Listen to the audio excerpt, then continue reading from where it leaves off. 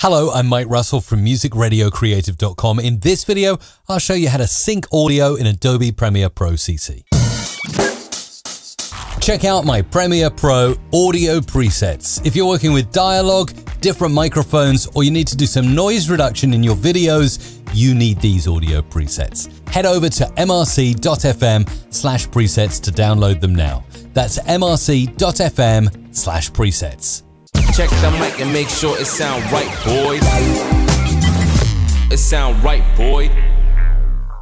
Okay, let's hop into Adobe Premiere Pro. I've got something I've recorded on my camera here, and you'll see that this is camera scratch audio. It's really not very good quality. Let's listen. Hello, I'm Mike Russell from Music. But I did do some claps, and this can really help with the synchronization of things. Really simple to sync up.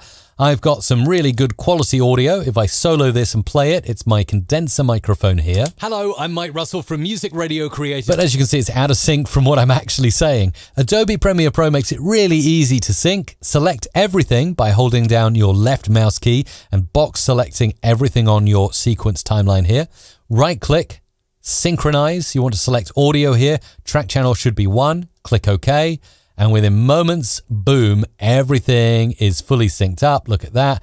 Claps are in the right place. It's all looking good. Let's play back. Hello, I'm Mike Russell from Music Radio. Mouth is moving in time. If I wanted to be super accurate and OCD about this, I can actually right click, show the audio time units, and then I can go in and I can cut here. Let's cut this clap here. And let's make sure we're getting rid of just that bit. And I can move that along further to really synchronize those claps together. It's just a way of making sure you're supremely synchronized. Hello, I'm Mike Russell from musicradiocreative.com. And now the mouth is moving perfectly with the spoken audio.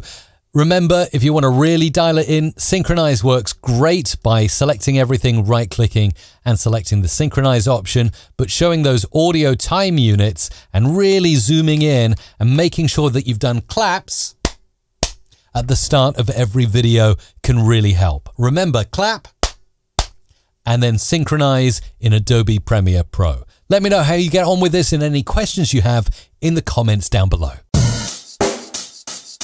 Make sure you like this video and also if you want to see more videos like this, subscribe to my channel and ding the bell so you never miss another audio video from me.